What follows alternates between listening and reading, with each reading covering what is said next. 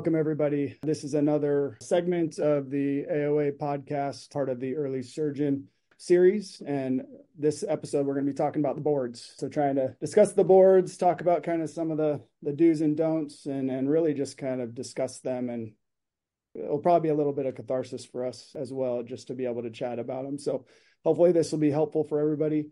I've got two recent passers, if you will, or ABOS delegates. I guess that's what they call us. With me today. Dr. Anthony Catanzano. He is from Duke, pediatric spine, neuromuscular, kind of everything type surgeon, and happens to be a med school roommate of mine. Thanks for joining us. And then my partner, Erin Honcharuk. She is a pediatric deformity surgeon here at Johns Hopkins. And I welcome both of you here today. Thank you. Great to be here. Thanks for having us. Oh, yeah. No, I appreciate your time. No, well, thanks for coming on. I, I, again, we probably all talk to each other plenty about this stuff, but I want to kind of touch on a few things or a, a few kind of tips and tricks and things like that. But really, can we just start with give me your kind of overview of the process and kind of how you felt going through it when you were done, kind of your overall feel after it was over? Well, I can say that I hated the entire process. So if you are one of those people, it is totally fine. I got through it and I did fine. I hated the preparation for it. I hated the time it took away from my actual current patient care. I hated the actual day and I hated waiting for the results. But, you know, I had a lot of support both before and after that I found really helpful and I can talk about that. And obviously, passing felt significant relief at that point, but it, it, was really, really stressful for me. And I think that's very common to have those feelings. No, yeah, I think if you don't mind, before we get to Anthony, can you just go into kind of what you hated about it? I, I think that yeah, you're kind of hitting me right off the the gate and taking away yeah. uh, side of it. But uh, yeah, give me your thoughts. Yeah, I just I felt very judgmental, but in a very superficial judgmental way, where I didn't really feel like I could maybe be judged on the type of surgeon and doctor and person that I am, which may be unfair. Maybe they they are getting a really good sense of what we're like. That was just sort of my opinion on the other side of it. And again, like I just felt like it was taking a lot of time from my ability to care for my actual patients advice that was given to me that I pass on, especially as someone who also had a young son during this process, is I actually took a week off of work just to do the paperwork. And I felt that that was really, really helpful. But that was also a, week away from work and being able to see patients and be in the operating room. But I didn't really see with kind of the how the rest of my life works. There was really any other way to do it. That's great. Yeah, thanks for that. Anthony, go ahead. Yeah, I think uh, it's it's certainly a stressful process. I don't think anyone will tell you differently. You know, I think some of the things as I was going through it that I really disliked was that I do feel like you I feel like you alter the way you practice or at least you think you know, you're always constantly thinking am I doing this right? Am I you're you're kind of second guessing yourself and then you're worrying about your notes and you're thinking to yourself, oh, should I include this because this is a boards patient? And you know, I think you know at the at the base of all this, it should really be assessing how we practice medicine naturally. Um, so I, that was a little bit stressful for me. And looking back, I wish that I hadn't thought because honestly, I think in all the training that we've gone through in our residencies and fellowships, I think we know, you know, good documentation. We know good decision making you know there's no need to really alter that. If you if you've prepared like that throughout your training you should be uh, in a good position to just continue those habits. I think one thing for sure that it actually did get me to do was ask for help and reach out to partners you know within my institution and also you know former fellowship mentors when you have something that can go either way. I mean we the three of us live in the peds world. I think you can show you can show anyone an x-ray and you'd have you know if you showed 10 people you'd have 10 different ways to treat a fracture and so i think just it made me reach out to get support to you know I think at the time it's sometimes to solidify your own thinking, but there are certainly cases where things can go either way, and I think it, it really pushes you to do that. And I would I would really recommend that to folks. And then, you know, honestly, I think from a documentation standpoint, like I said, practice as you're going to practice medicine uh, and develop good habits. And also so that when you, you know, I think the other thing you don't realize is these cases come back several, several months later. And so as you're going back and preparing, you want to make sure you have good documentation, not for the reviewer. You're doing this for you and for your patients. So you want to make sure you have good documentation so that you can remember that as you prep. But I, I think for me, those were the most stressful things were, you know, thinking I had to practice some ABOS way. And, you know, there are no guidelines to that. You just need to do what's best for patients. You need to, you know, make sure that you're uh, addressing all the issues head to toe and, and putting it in the chart. It, it should, it should be a, a process that, you know, helps build those habits. Yeah, I'll be a little bit counter. I, I, I agree 100% with everything that you guys said. And I, I obviously, um, Erin and I, we kind of went through it together from that standpoint. But I, I felt like I tried my best not to alter how I was doing things. I, I really went into it a little bit.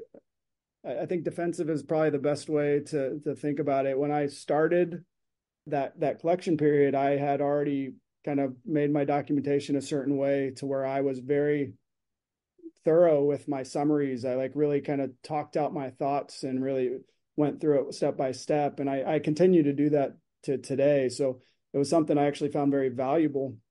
Just talk it out, like like make it part of your documentation. First, like as you're just starting practice, it's you need to be doing that anyway. I feel like my anxiety level was already high just getting going and questioning myself and and I did use partners I did ask questions constantly and that's something you can document and that and that's a, a very positive thing so, so you're not out there doing things on your own I think the best advice that I got that kind of led me into this whole process was they're not trying to fail you. I think I just had to go back and keep remembering that little bit of information. And then I just went back and said, I, I am a good doctor. I've went through this before. I just need to think through and make sure I'm not missing stuff. So I felt like that didn't change. And so, yes, it was grueling and time intensive. I think the process itself is really will drain you, but that's the one thing I, w- I would say that I felt like worked well is just the documentation. I, I took the time and I still to this day uh, uh, do that. I have a big summary statement at the top. People may not like to read it, but it helps me even because I feel like the Aaron two months ago is not thinking the exact same as the Aaron today. So just for my own clinical benefit. So I could not agree more. It is it, it's tough. I don't want to downplay that, but I do think that that was the advice I got, and I it felt like that was true. It's they're not trying to fail you, they're trying to make sure you're safe. So be a safe surgeon. So thanks for that. Any any other last bits there? I think documentation is an easy segue. Any kind of things that you did that you or or didn't do that you wish you did early in the process. I think they're a little bit late as far as their collection time, and I apologize for that, everybody. But things to do to make make that process easier. Yeah, I think one thing is um, one thing I didn't realize. Like I said, it may be a little late for this, but just uh, you you have to redact all the identifying data, including the name. So, like when you make a note and you say, you know, Aaron Brandt is a 15 year old boy with, just say he or she or they or them. Use pronouns because you don't have to redact those. So, I definitely found myself there are some notes where I just use the person's name over and over again. I had to go through and redact all those. So, just from a like a uh, practical purpose, it's uh, better to use pronouns in those notes to minimize how much redacting you need to do. I think at the stage that you all will be at, where you're kind of adding documentation to the website, um, there are guidelines. Make sure you go over those guidelines thoroughly because things like you know daily PT notes, I don't think are necessarily required unless I think they they give clear kind of instructions like unless it changes care in some way. A lot of the documentation that you may think you have to be copy and pasting and including, you may not have to. So I think really make sure that you read those instructions and include the necessary information. The flip side to that is if you think there is something in there that affected your decision making, that is supportive of what you did, it kind of paints a better picture. Uh, I think including it is is really important. Because A, like I said before, it's going to help you as you prepare those few weeks beforehand. And also it does help kind of paint the picture for the reviewers. And then I think really the the biggest important the most important thing I realized after was that those reviewers do not see that documentation until you sit down in the room. So it's not like they have, you know, combed over all of your documentation you know, with a fine tooth comb before that. So they sit down with you and they kind of are going through the documentation. So they're not looking for grammatical errors. They're not looking for, you know, minute details and misspellings, things like that. They're really looking for big picture things. They're going to go through, they're going to look at a physical exam, they're going to look at, you know, lab testing and things like that that you've included. But it is not like a board examiner is reading pages one through a thousand of everything that you've submitted, you know, letter by letter. Another option for documentation, if you don't want to do all the redacting, is you can have patients sign the, it's like a waiver, or I forget exactly what it's called. And I actually did that for a lot of patients. It feels a little awkward initially because you're like, oh, I'm being evaluated. And so sometimes I think a lot of people would worry that patients would lose confidence in you. But I just kind of got in the habit of just doing it and it, it was really natural. I didn't have any issues, you know, especially in peds, you worry that patients, you know, it's the parents and they're going to be really overbearing and and there were really no issues at all. And you could either do it before the surgery or I did it after the surgeries. There were some patients where I had difficulty with follow up or particularly with trauma. You can't really do it before. And and so there were some that I had to redact and I used a PDF or Adobe program where I would control find and look for patients' names. And, and that was sort of how I would go through. And that was a good way to kind of quickly go through um, your notes and make sure that you're finding their names as well. Yeah. I, I think both of those that's kind of I did uh, similar with both both approaches. I didn't do any of the uh, documentation or like having them sign. That was just another thing to me, so I, I didn't do that but I was kind of careful with the the names and things like that, and I was pretty consistent with my notes. So even when I went back to redact, I used Outlook. I literally just did a, did a black highlighter and went through and and removed stuff, and like it was three or four things per per note. It didn't it wasn't too bad from that perspective. So again, just kind of preparing your notes in a way that will limit how often that happens and then kind of keep it keep the identifiers to a minimum. That's, if I can add one thing, you know, yeah. we're the three of us are academic surgeons. So for those of uh, those in private practice that may have administrative assistants and others, you know, working within their office, I, I had some friends that were in a situation like that, and they had their staff do the redacting.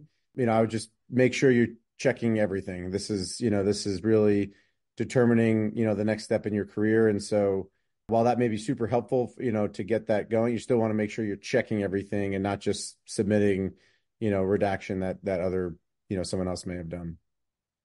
Yeah and the other the other thing i'd say is and this is just another point of anxiety is the little details that you miss like the typos those those little mistakes i i, I truly believe and i can't say this for, for sure but i i don't think that they're going to be like take away from your day you know like so they're not looking for those little type they're, not going to give you like a, a spell check and say like oh he doesn't pass because he didn't spell this right. Um, so you're doing your best. I had one that was like a really blatant typo on a note and i didn't i see it until i was reviewing the day on the on the morning of and i was like oh here we go.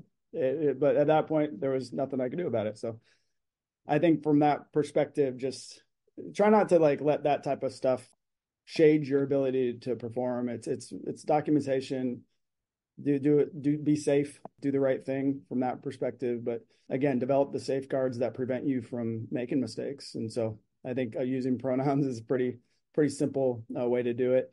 And then the redaction process for those of you who had someone do it for you congrats i hate you. But it, it's not too bad either. It's just going and uh, finding them and removing the the data. Yeah i think that was one thing i wanted to highlight is just ways to kind of limit your time kind of on the back end. And you guys kind of hit it on the head there. I think the pre-documentation is huge. One one other thing that I did, uh, and there's a, a whole bunch of ways to do this. I did this with just a little notebook that I could carry with me. Other people have Excel sheets. but I, I would have sort of like a half a page for each patient, and I would have their name, sort of information, the surgery that they had, and my planned follow up, things that happened. And then in the, the very front of the notebook, I had the the list of complications or things that you have to document for the boards. And so it was a good reminder of like, oh, okay, right, I have to document that that's a complication for this, or I have to make sure that that's involved. And once a week, I would kind of flip through it, and I had little boxes of they're supposed to follow up in six weeks. And if I realized that that six weeks had passed, then I would have my team reach out to them and try to bring them in. Because that's a big thing too that I, I think the boards is looking for that you are actively you know, trying to make sure that patients aren't allowed to disappear. And so I really tried to stay on top of that process and making sure that they they were coming back or that we were at least documenting that we were attempting to to find these patients. And that was a good way just to instead of waiting until the end, just kind of slowly keeping up. You know, it's a little bit easier if you kind of look once a week versus at the end and you're like, oh shoot, I haven't seen this patient and I operated on them at the start of collection. Yeah, I did uh, the Excel file and it was super helpful because I had one of the columns was like next scheduled post-op appointment. So I was able to, you know, every couple weeks, you know, as you're you're loading cases onto there weekly, so I would just be able to check and say, oh, those this date has passed, so you know that's a patient that I need to make sure I reach out to. And I think that's that's come up with a couple of my younger partners, kind of going through it now. And some friends, as we were going through it, was like, what do you do in that situation? So what I did was you know, I made sure that the scheduler, you know, typically if we have just the way our clinic works, if a patient no shows, our, you know, nurse or MA will reach out to contact the patient to see if they're, you know, if they pick up, if they're able to come in later that day or to, you know, reschedule the appointment. And so if they were unable to contact them, I had them put a note into the chart saying, you know, patient was reached at the listed numbers, you know, unable to contact them. And then we have a social worker in clinic and so I just, you know, at the beginning of the process, kind of said, "Hey, Gina, I'm going to need some help with some of these, you know, patients to make sure we're tracking them down." So again, every couple of weeks or months, as you know, they missed a second appointment, then I would have our social worker just make sure that we were, you know, had good documentation, that we reached out, make sure that we had good numbers, good emails, things like that. I've heard of other places where they're like they'll like the institution will send like a certified letter or things of that nature. And I heard that was actually frowned upon by the ABOS. So I don't think you need to go too wild on trying to track people down. I think just making the effort, documenting that you've made the effort is the most important thing. But you got to keep that list so that you know who it is you have to look out for. Yeah, the documentation is huge. I, I think you guys are hitting it right there. Like that, you want to just do the things that you would do clinically normally. I, so if you discharge a patient after two months because they're doing well, you don't have to call, call them back in to come and check again. That was your plan of care. I think those pieces were always question marks me is like, ooh, man, I haven't seen this person in four months. But I said PRN. So you don't have to alter your course. Even the uh, the PROMs are like kind of the the follow up that they'll send to them with the email and things like that if they don't respond from the email, it's it's not going to change kind of what your plan was from that perspective. So again, do what you would normally do, document appropriately, and and and you'll be and you'll be good. I did the Excel as well, and I'm not as type A, and I I needed that, and I was not as good as Aaron or you. It sounds like documenting and putting these in. I was good for about a month, and then at the very end, I mm-hmm. just had to input them all which was not very di- difficult in all honesty. It did not take a crazy amount of time. I think that the redacting and the building of your little set after you get your 12 that they choose, that's that's what really kind of takes the cake. That's what really gets hard. But time time intensive. Hard is a relative term. Let's do the the day itself. Um, I, I don't know what you guys felt about the, the day itself, but what did you think about kind of the environment, kind of the the process? If I can step back real quick, because I, I feel like this is prep for the day, but it wasn't day of. Yeah. Um, so I I did a run, I actually did two run throughs with uh, one of my mentors, John Birch.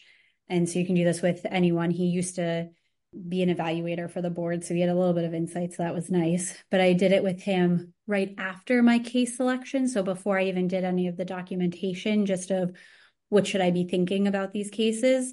And then actually after I had submitted all of my cases. So I think I, we actually did it on July 4th. I took the boards July 19th, I think.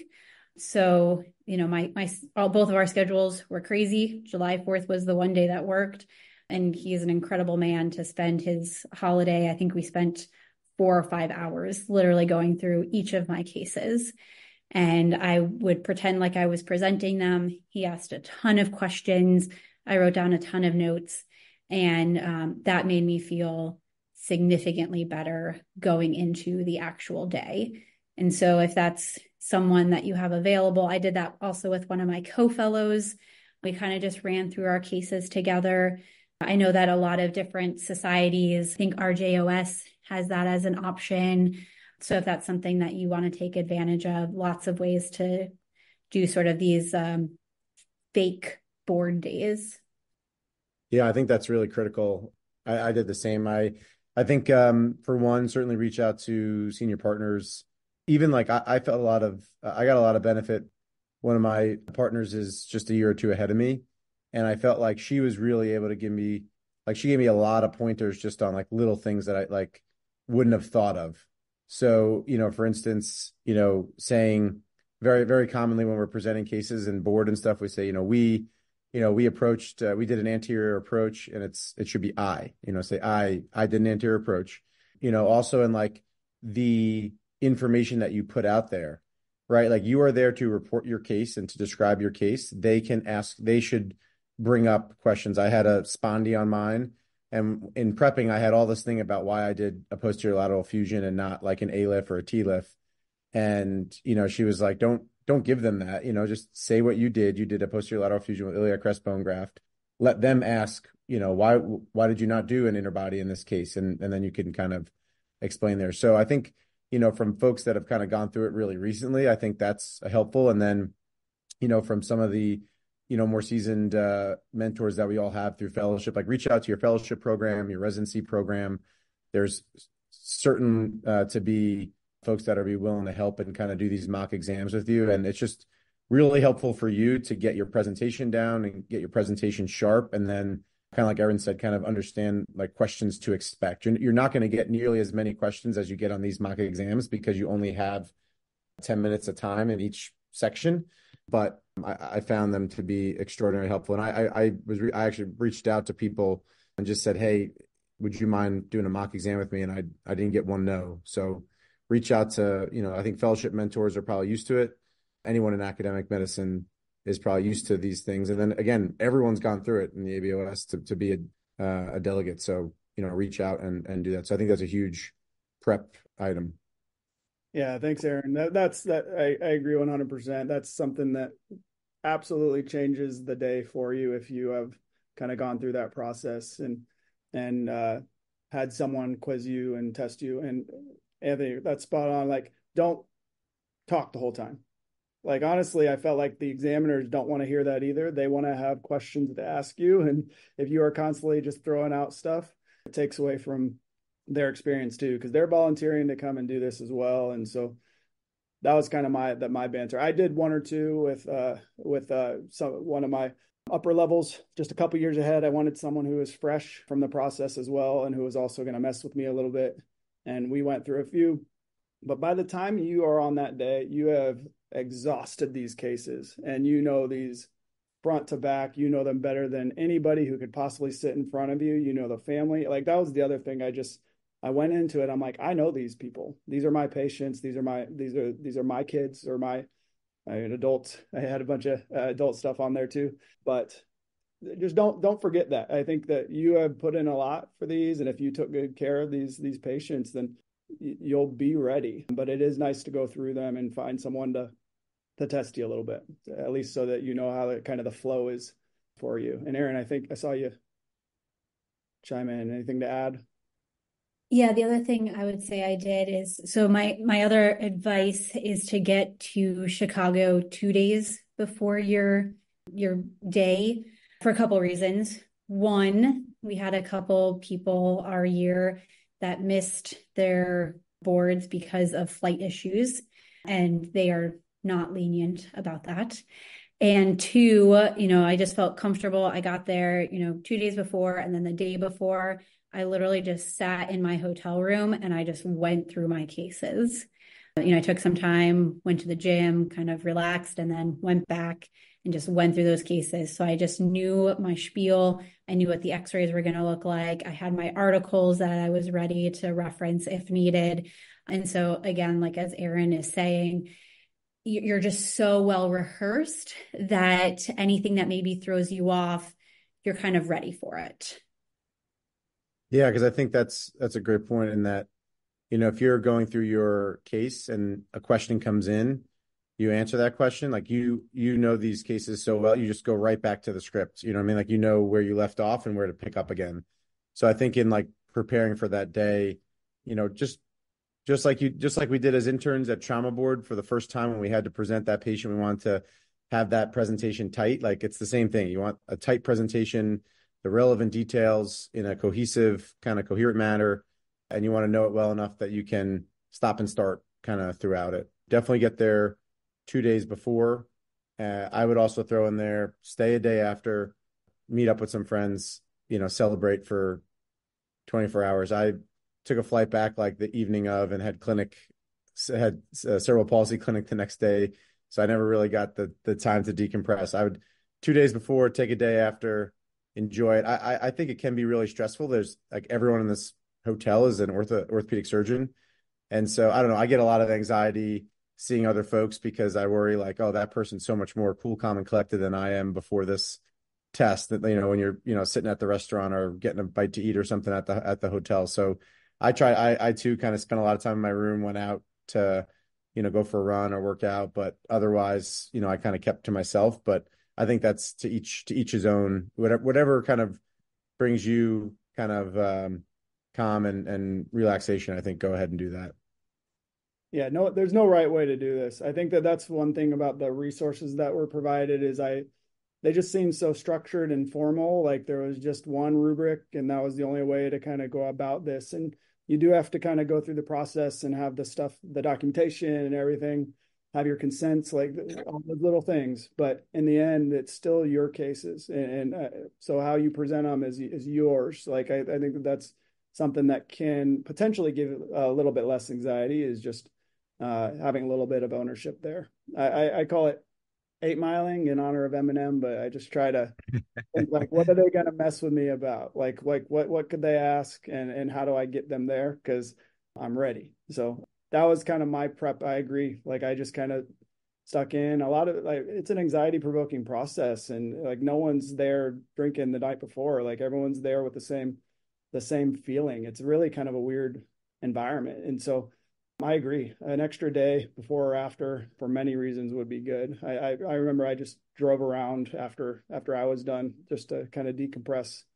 look around Chicago and and go from there. But take some time. Yeah. I, don't know if like we need to spend too much time on the rooms. They have a pretty good kind of mock interview that is pretty accurate. I guess anything that you would take away from the the sessions themselves other than the buzz. There, so these are not rooms, by the way, everyone. These are like cloth curtains that separate everybody, and somehow they keep the sound like relatively down, but you can still hear it once it starts going. The buzz is the the everyone's talking, and it's it's pretty chaotic. It's kind of honestly kind of cool. So I don't know what your thoughts are. Yeah, I think you're you're in that you're on one side of the table. I think one thing is you have your laptop, uh, you have a laptop in front of you with your cases filled up I think just to plug, you know, the forms that you, the kind of case forms that you have to fill out, the examples they give you, they they put very little in them. I found. I actually think the example case is like an AIS case, and it was just you know very little tidbits. I put as much as I could in those forms, more for me than for the examiner. Like I put that in so that because you have that form in front of you, so I put as many details as I could fit in the in the allotted uh, space so that I, you know, had a little bit of a script that I could follow. And like we talked about before, if I was off script, I can kind of find myself and get back. So I use that form a lot and you'll have your, you'll have a laptop with that in front of you. The images up on the screen to the left. Just they have a lot of good videos on kind of how that will work on test day and just get, you know, comfortable and familiar. You do have a little bit of time, a couple minutes in between the examiners changing rooms because you'll stay in the same quote unquote room the whole time. So you can make sure you get the next set of x-rays up and kind of play around with them before they come in to make sure it's all smooth. And then, like I said, two of them, two of them come in and sit across from you. I found that I felt like one of the examiners was very kind of into your documentation, kind of scrolling through while the other kind of started the the questioning. And uh and yeah, I think um I, I think as long as you're kind of familiar with the software, you'll you'll be good on that end.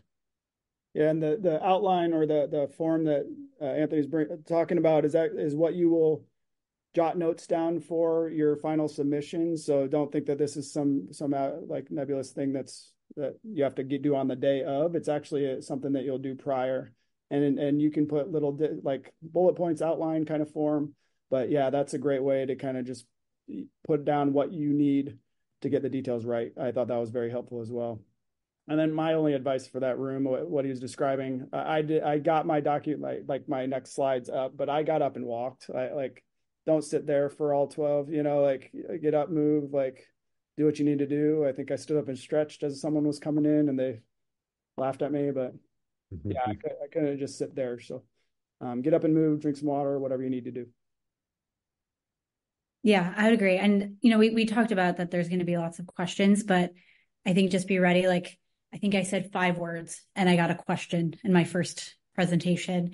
So that kind of threw me off a little bit. So just be ready. There's going to be questions right away.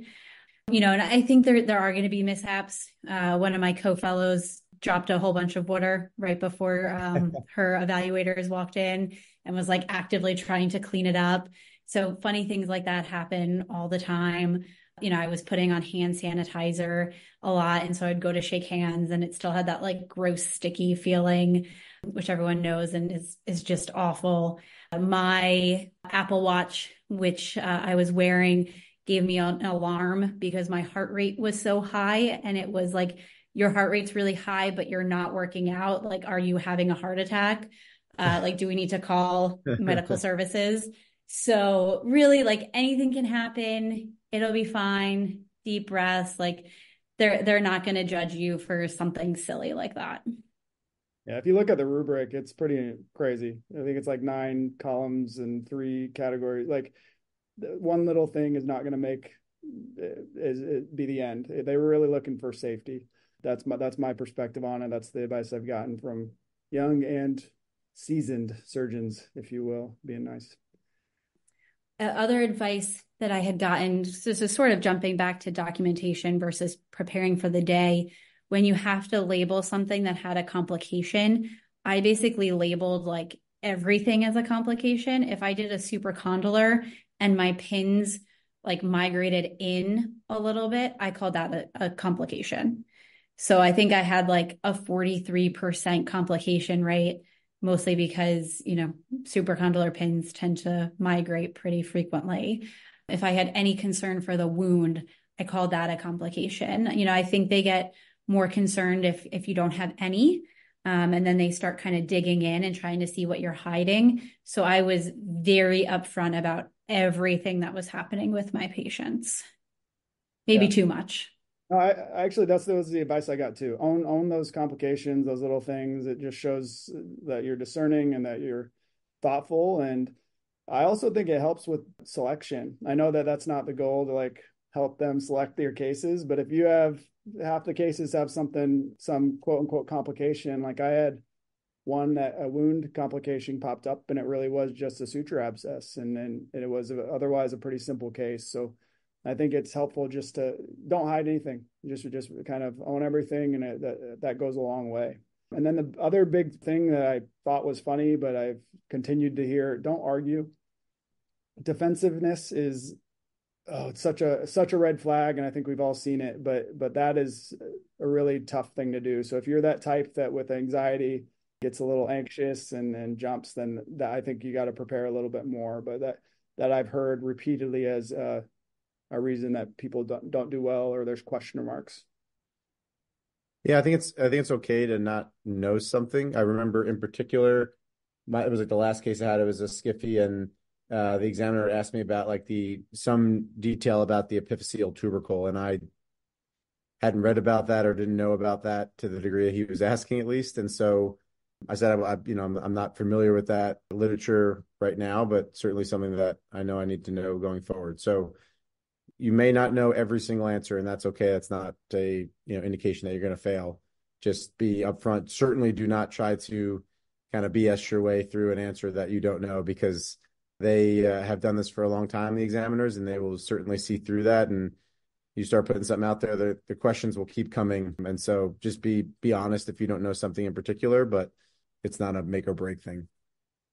I like I like uh, blanked uh, intern level like something that I 100% knew. There's no reason not to know. Like it would have totally been held against me in, in residency. And, and it felt awful while I was there, but I was like, man, I took care of this kid. I described the problem. I, like I just could not remember the the name. So I, I don't think it made any effect at all. And who knows, but just keep moving through it. Go ahead, Erin. Yeah, and I was going to say, I think sometimes they they want to see just how you respond to questions. So I got questions, they were sort of on like the long-term implications of something, I think like genu valgum. And I was like, I don't, I don't really think we we know that answer in the literature, or I, I don't know that answer. And then, you know, talking to people after uh, who are much more knowledgeable than I uh, said, yeah, we don't, we don't know that answer. Like that's not, there's no research on that. Um, and so sometimes they they're really just asking you questions to see how you respond, not to not to just really kind of annoy you. Yeah.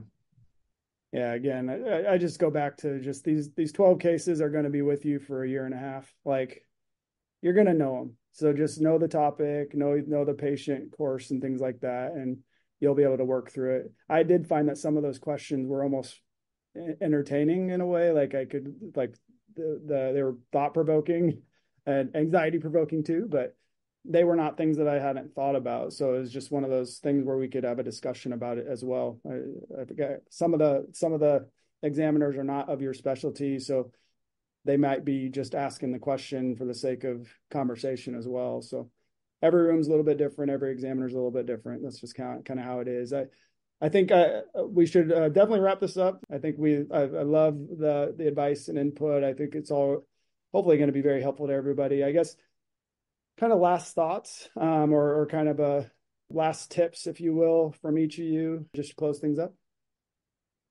Yeah, I think um, we, we've said a number of times. You know, I think the goal of the process is not to fail you. The goal is not to catch you. The goal is not to trick you. The goal is to really just make sure you're you're you know providing thoughtful diligent and safe care to patients so you know i think having that in the back of your mind i think looking back i should have been significantly less stressed uh, throughout the process because uh, as aaron's pointed out multiple times you know uh, during the podcast you know that's what we should be doing day to day regardless of if we're being examined or not so you know i think if you know that you're doing the best that you can. That's that's all you can do. And you know, being stressed about, like I said, trying to get caught or tricked or something like that. I, I think that's not the purpose of the process. I think that's important. I think the other thing is, you know, hearing some stories from other folks. Like, obviously, people do fail this exam. That's you know very clear. They give you the data. It seems to be in back in the single digits. There are a lot of people that you know don't get their paperwork in on time you know don't properly submit their x-rays that don't properly prepare so there are and there are people that are you know probably practicing unsafe medicine so it's not like 100% of people are doing the same exact thing as you doing a great job of keeping and they have to fail 7% of people or something like that because i think that mindset also is can be really stressful to think like every single person going to that exam is going to be doing the same type of job as you are and it's like a flip of a coin if you're one of the people that fails so don't don't don't think of it that way. Think of it as, you know, they want to make sure you're you're providing the type of care that you know you are thoughtful, diligent, and and safe. I think that's really really important. Like I said, reach out to, you know, other colleagues when you have questions about cases. Uh, reach out to other colleagues in preparing for the tests. You know, at you know, get get help uh, as much as you can. And then a lot of these, I think one thing is a lot of the things that a lot of the habits that you'll form throughout this process, make sure you stick to them because they're actually pretty helpful for practice going forward, especially as your practice gets busier and busier. You're going to see a patient six months after the fact and have no idea what's going on unless you have good documentation. So I think uh, it's it's all to make us better surgeons, and I think is if you put the time and effort in, you're going to do great uh, with the with the process.